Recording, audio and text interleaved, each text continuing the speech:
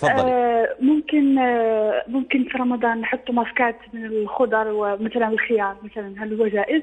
هل يفطر الصيام؟ تضعينه على وجهك؟ نعم على وجهي. عموما هو استعماله في رمضان وفي غير رمضان حكمه واحد. إذا كان للعلاج إذا كان للعلاج الوجه مصاب بحساسية نعم. معينة أو كذا فيوضع للعلاج ليس هناك بأس. أما العبث به يقولون والله يعطي نظارة يعطي مدري إيش. الأصل أن تكرم النعمة عن استعمالها في مثل هذا.